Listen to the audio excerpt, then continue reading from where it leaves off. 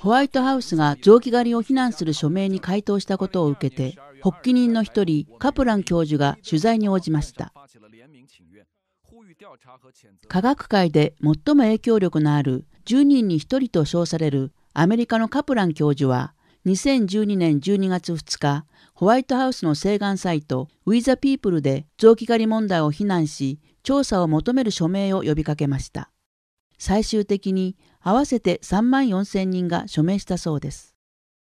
今年1月31日、アメリカのホワイトハウスは違法で反道徳的な臓器摘出と販売に反対するとし、中共当局の人権問題及びファールンゴン学習者に対する方法に依然として注目していると述べました。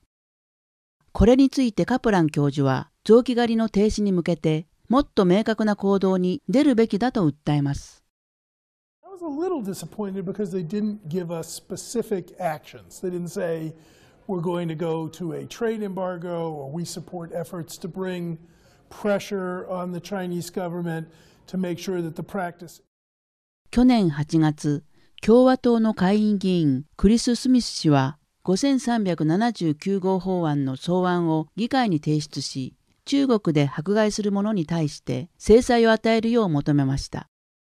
草案には拉致や拷問、臓器の強制摘出など、主な迫害方法も列挙されていました。I think basically you've got to push China here on a human rights side and say, you know,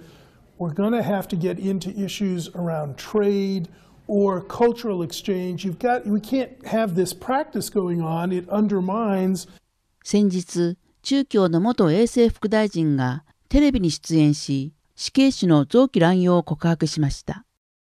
しかし死刑囚の臓器だけでは過去10年以上中国で爆発的に増えた臓器移植を賄えないはずだと多くの人権団体が考えています。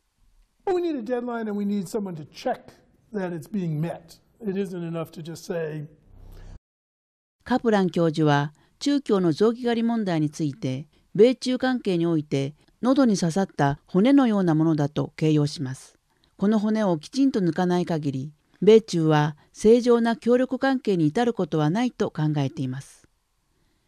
新東人テレビがお伝えしました。